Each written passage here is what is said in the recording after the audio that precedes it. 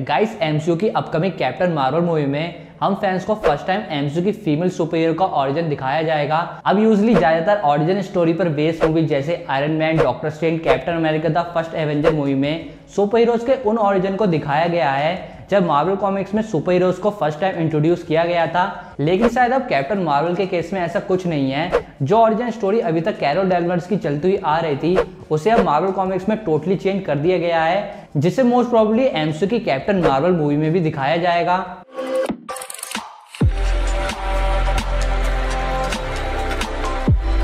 Hello guys मैं Ankit and welcome back to the Super Talk और आज हम बात करने वाले हैं कैप्टन मार्वल की सीक्रेट ऑरिजन की, जो मोस्ट प्रॉब्ली हमें एमसू की कैप्टन मार्वल मूवी में भी देखने को मिल सकता है, जिस वजह से ये एक स्पॉइलर वीडियो है, जिसमें मैं आपको कैप्टन मार्वल मूवी की बहुत सी इन्फॉर्मेशन शेयर करूँगा।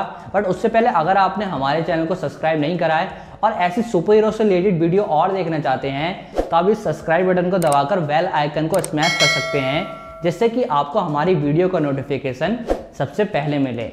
यार 2016 में जब एमसीयू की कैप्टन मार्वल मूवी के स्क्रिप्ट पर वर्क किया जा रहा था, तब कैप्टन मार्वल मूवी की screen play writer Nicole Perlman ने कहा था कि ये मेरे लिए बहुत ही टफ प्रोजेक्ट है और हम इसमें सीधे ही कैप्टन मार्वल का कॉमिक बुक ऑरिजिन नहीं दिखा सकते, क्योंकि कॉमिक में ग्रीन लैंटर्न और कैप्टन मार्वल का ऑरिजिन काफ़ी सिमिलर है, जिसे मूवी में दिखाना बिल्कुल सही नहीं होगा। इस स्टेटमेंट के अकॉर्डिंग कैप्टन मार्वल की स्क्रीन पर राइटर ने ये हिंट दे दिया था कि कम से कम कैप्टन मार्वल मूवी में कैरोल डैनवर्स के कैप्टन मार्वल तक बनने की जर्नी कॉमिक्स से काफ़ी डिफरेंट होगी। तो गाइस इसी को लेकर पिछले मंथ कैप्टन मार्वल की ऑरिजिन स्टोरी का एक सीक्रेट वर्जन मार्वल कॉमिक्स में the life of Captain Marvel run में रिवील हुआ है, जिसमें ये रिवील किया गया है कि जिस विलास से कैरोल को अपनी पावर्स मिली थी, वो बेसिकली कुछ नहीं था। ओल्ड ऑरिजिन स्टोरी के अकॉर्डिंग यॉन रॉक जब कैरोल डेनवर्स को किडनैप कर लेता है और उसका एक क्री डिवाइस मैग्नेट्रॉन में एक्सपेरिमेंट करने वाला होता है, तब वहाँ पर उस क्री डिवाइस मैग्नेट्रॉन में एक बहुत बड़ा डेंजरस एक्सप्लोजन होता है, जिससे कैरोल डेनवर्स को सेव करने के लिए कैप्टन मार्वेल उसको कवर कर लेते हैं। अब इस एक्सप्लोजन के बाद ही कैरोल डेनवर्स को मार्वेल की तरह ही एक्सट्रीम पावर मिल जाती है। जिसको लेकर यह बताया गया था कि जब एक्सप्लोजन हुआ था, तब कैप्टन मार्वेल के जिन एक ह्यूमन बॉडी यानी कैरोल डेनवर्स से कंबाइन हो गए थे, जिससे कैरोल डेनवर्स को एक्सट्रीम सुपर पावर मिली।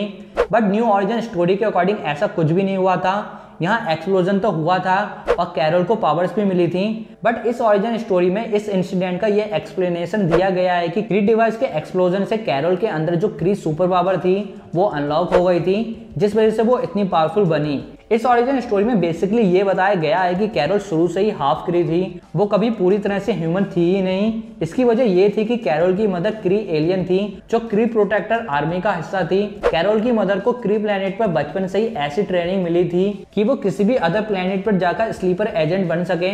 सो ट्रेनिंग के बेसिस पर जब कैरोल की मदर को अर्थ पर भेजा गया तो वहाँ उसे एक ह्यूमन से प्यार हो गया। देन उनकी मैरिज हुई और फिर कैरोल डेनवर्स का बर्थ हुआ। जिस वजह से वो स्टार्टिंग से ही हाफ़ क्री थी और उसके पास चाइल्डहुड से वही पावर थी, जो एक नॉर्मल क्री सोल्जर में होती हैं। यही कैरोल डेनवर्स का नाम भी क्री वर्ल्ड के नेम कैर एल्पर बेस है, जो उसकी ट्रू आइडेंटिटी को शो करता है। अब अगर कैप्टन मार्वल के फ़र्स्ट ट्रेलर को इसी ऑरिजिन स्टोरी के अकॉर्डिंग देखा जाए तो ये माना जा सकता है कि कैरोल डैनवर्स चाइल्डहुड से ही क्री वर्ल्ड का हिस्सा थी। वो अर्थ पर हाफ़ क्री है और क्री प्लेनेट पर आधी ह्यूमन है। वो यहाँ खुद से ही फाइट कर रही है कि वो रियल में है क्या?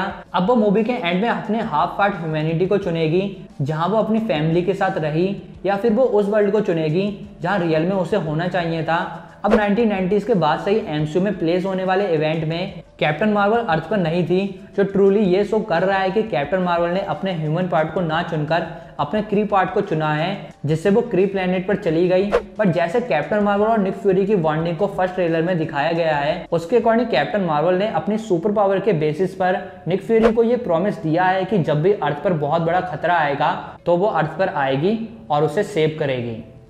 तो गैस ये था कैप्टन मार्वल का सीक्रेट ऑरिजन तो इसी को लेकर आज का क्वेश्चन ऑफ़ द डे ये है कि आप इस ऑरिजन को एमसीयू की कैप्टन मार्वल मूवी में देखना चाहते हैं नहीं, ये आप मुझे कमेंट करके ज़रूर बताना। यही नहीं, अगर आपको आज का वीडियो पसंद आया है तो आपको पता है कि क्या करना है। आप इस वीडियो को लाइक कर सकते हैं शेयर कर सकते हैं और कमेंट करके बता सकते हैं कि आपको आज की वीडियो कैसी लगी। इसके अलावा अगर आप फेसबुक और इंस्टाग्राम पर एक्टिव हैं तो वहाँ पर हम भी एक्टिव हैं। वहाँ पर आप हमें फॉलो कर सकते हैं। तो गाइस मैं अंकित, मिलता हूँ आपसे नेक्स्ट वीडियो में। Thank you